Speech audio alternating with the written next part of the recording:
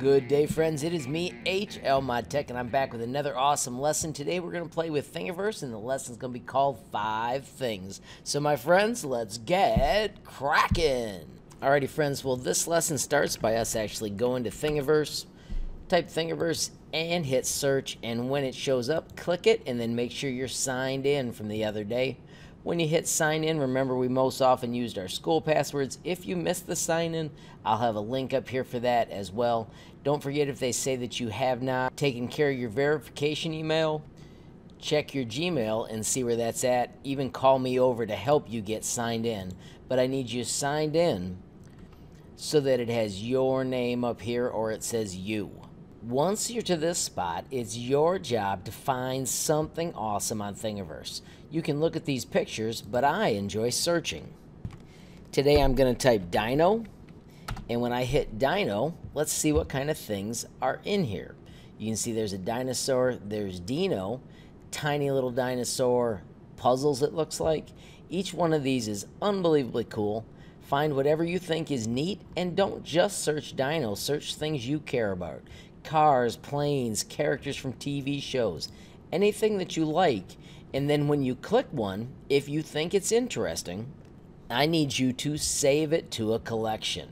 To do that, I want you to hit the word collect, I want you to hit the down arrow, and I want you to create a new collection.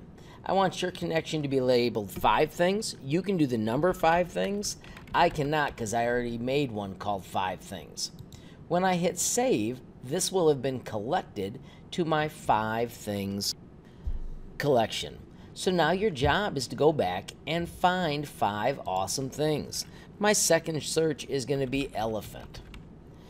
When I hit elephant, and I could look for more dinosaurs, I'm just going to scroll through the pages and pages of awesome elephants until I find one that I think is utterly fantastic.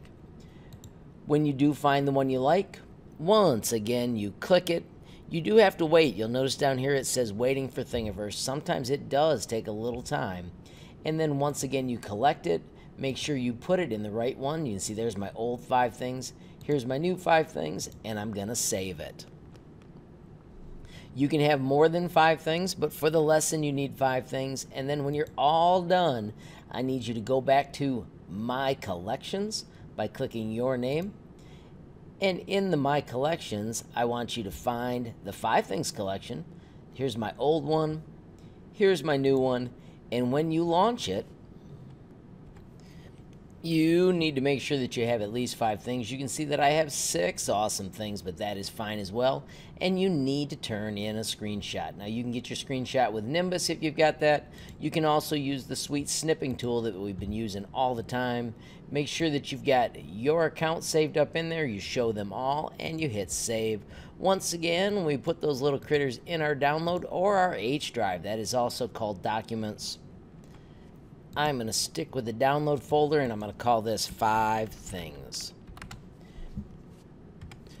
With that saved, you can close the little snipping tool, go back to your classes, find your assignment, and upload it. So under classwork, remember we always use the classwork tab. Down here is the essentials, and this is the five things lesson. Once again, we hit view assignment. We hit add, and we want to add a file we look in our downloads folder by hitting select device, downloads, and boom, there is our five things. Upload. Wait patiently for it to allow us to turn it in. And hit that turn in button one more time. And then pat yourself on the back for finding something awesome. Alrighty, friends, so if you found something amazing, I will also let you share that in the class comments. Make sure you just do it like this. Find the one that you thought was most cool. I'm going to go with my Detroit Lions one. And then I'm going to copy the link up here at the top. Simply do right click copy and then back in our lesson. I want you to type comments below. Make sure you give it a label.